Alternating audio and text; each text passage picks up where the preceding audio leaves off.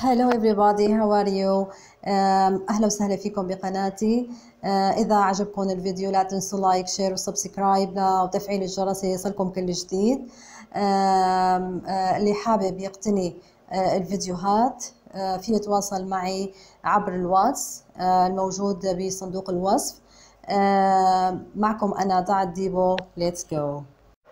Unit 11 الدرس الحادي عشر Part 1 Listen and Read الجزء الأول استمع وأقرأ اللوحة الأولى This is for you ليلى We bought it in بصرة هذه لك يا ليلى اشتريتها من بصرة We went to بصرة last month ذهبنا إلى بصرة الشهر الماضي Thank you grandma شكرا لك يا جدتي It's really pretty إنها حقا جميلة This book is for you Omar We bought it in the museum اللوحة الثانية طبعا. هذا الكتاب لك يا عمر. اشتريته من المتحف. Thank you grandma. شكرا لك يا جدتي. What was بصرة like كيف كانت بصرة؟ We had a lovely time. We saw the theater. It's very big. قضينا وقتا جميلا. رأينا المسرح. إنه كبير جدا. We stayed in a nice hotel. أقمنا في فندق جميل. We sat in the hotel gardens. جلسنا في حدائق الفندق. We drank coffee. شربنا القهوة. اللوحة الأخيرة. I wrote postcards and ate fruit.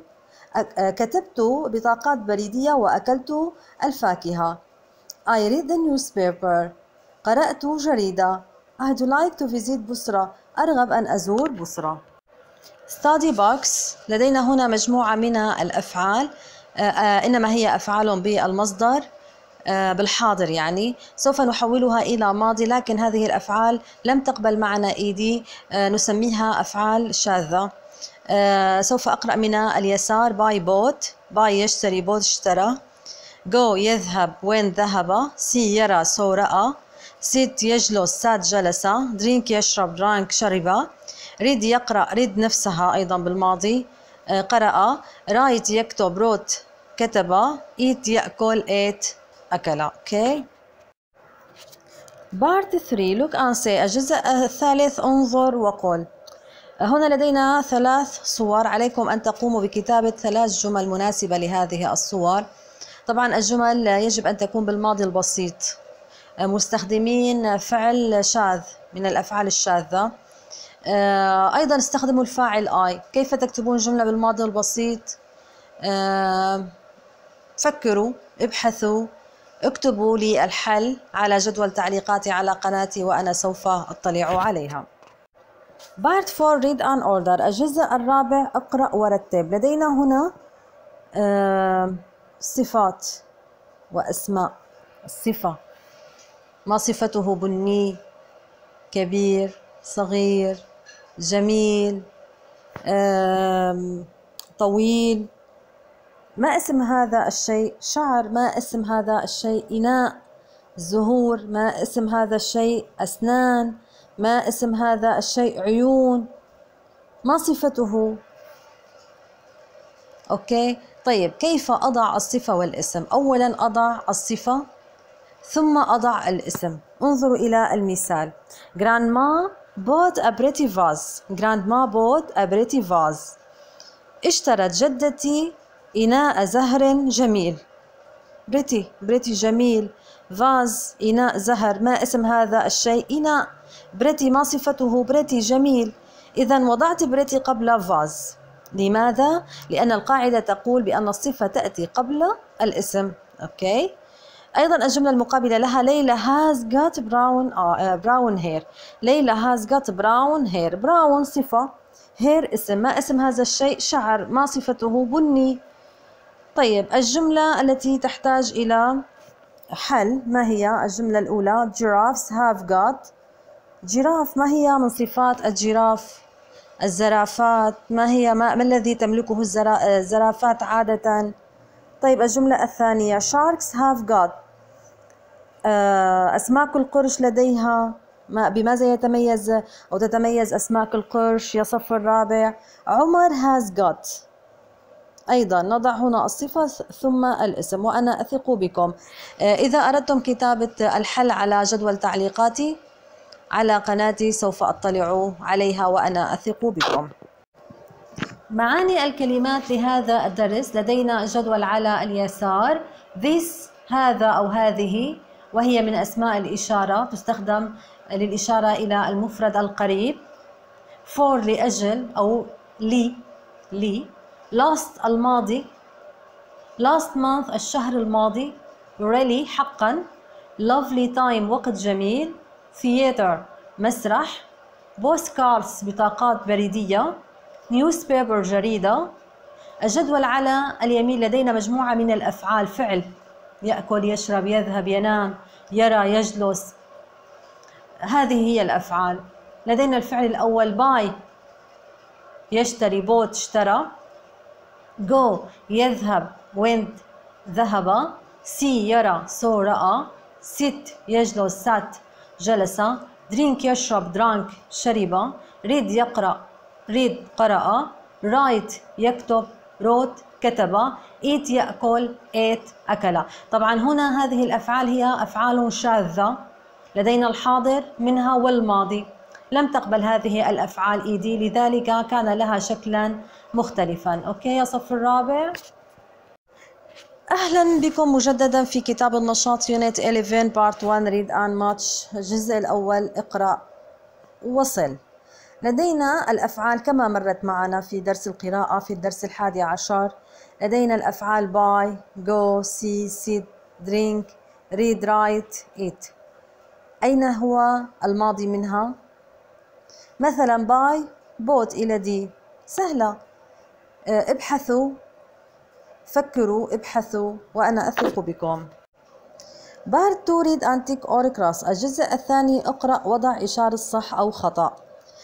سوف أقرأ النص Dear Leila and Omar We arrived in Busra on Saturday. It's very beautiful. We visit the museum on Sunday. We and we saw the theater. It's very interesting. Uh, we went to the market on Monday. We bought some lovely fruit. It was very hot yesterday. We sat in the park and we drank some juice. I wrote some postcards and your father, grandfather read a book. See you soon. Love, Grandma. عزيزي ليلى وعمر وصلنا إلى بصرة يوم السبت إنها جميلة جدا. زرنا المتحف يوم الأحد ورأينا المسرح. إنه مهم جدا ورائع. آه ذهبنا إلى السوق يوم الاثنين. اشترينا بعض الفاكهة اللذيذة. آه كان يوما حارا البارحة. جلسنا في آه، الحديقة وشربنا بعض العصير. آه، أنا أكتب بعض أو أنا كتبت أيروت أنا كتبت بعض آه، البطاقات البريدية وجدكما قرأ كتاب. أراكم قريبا love grandma المحبة الجدة. هنا سوف نكتب صح أم خطأ. Number one. ليلى and Omar's grandparents arrived in Busra on Sunday.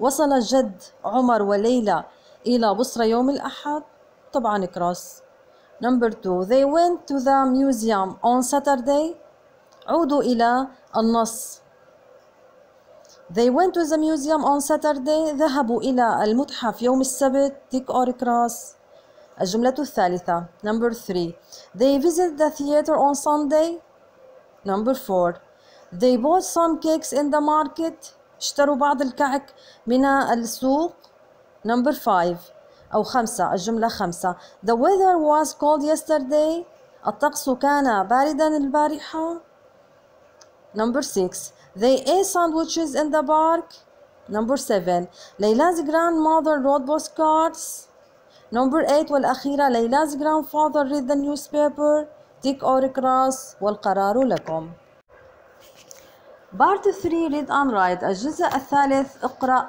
واكتب. لدينا كلمات بالإطار الأزرق. هي عبارة عن أفعال وهي أفعال بالماضي آه، لكن هي أفعال شاذة. وين سوف أقرأ من اليسار إلى اليمين؟ وين ذهب؟ bought اشترى saw رأى read قرأ. wrote كتب drank شرب. ate أكل sat جلس. الجملة number 1 الجملة الأولى. I was very thirsty so I drank some water.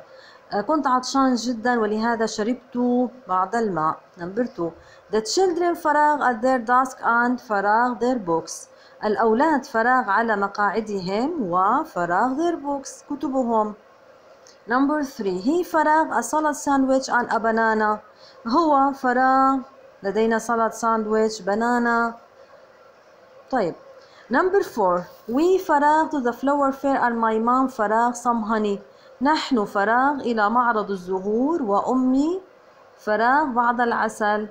ماذا فعلنا؟ ماذا فعلت أمي؟ Number five the teacher فراغ some new words on the board. The teacher المعلم فراغ بعض الكلمات الجديدة على اللوح. Number six we فراغ our cousins on Saturday. نحن فراغ أولاد عمنا يوم السبت وأنا أثق بكم بإمكانكم إرسال الحل آه، وكتابته على جدول تعليقاتي على قناتي وأنا سوف أطلع عليه Part 4 Look and Write الجزء الرابع انظر واكتب لدينا هنا uh, سؤال What did Hani do yesterday? What did Hani do yesterday? انظروا إلى هاني ماذا فعل هاني البارحة؟ السؤال بالماضي البسيط أيضا الجواب سوف يكون بالماضي البسيط. انظروا إلى الجملة الأولى. He bought an apple. He bought an apple. هي فاعل بوت فعل بالماض. أنابل تتمة الجملة. أيضا الجمل التالية الجملة الثانية والجملة الثالثة والرابعة والخامسة أيضا كذلك الأمر.